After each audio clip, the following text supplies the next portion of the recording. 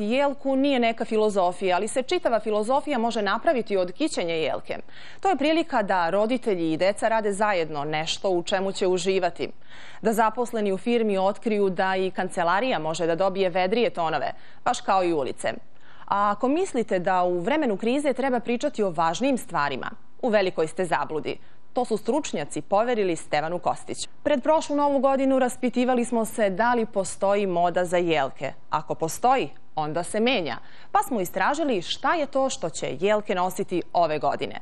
Dobra vest je da modernu jelku možete napraviti od jeftinih ukrasa, pa i od onih starih. Ali to neka vam objasni i Kriza je pokazala da mnoge ekonomske teorije padaju u vodu.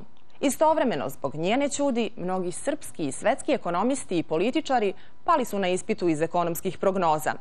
Da su se ispunile samo neke od njih, Srbiju bi kriza u najmanju ruku zaobišla ili bi bila naša šansa.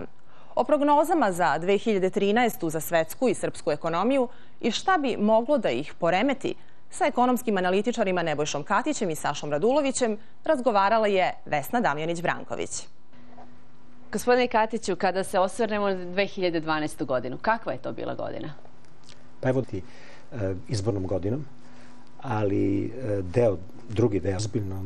Dobro, dve loše stvari koje su se desile u 2012. u ekonomiji Srbije. Svi disbalansi koje smo imali nastavljaju da budu tu, ništa nismo promenili. Jedna pozitivna stvar je recimo... Smo postavili pitanje 2013. E, da li će biti ista kao 2012. bolja ili lošija?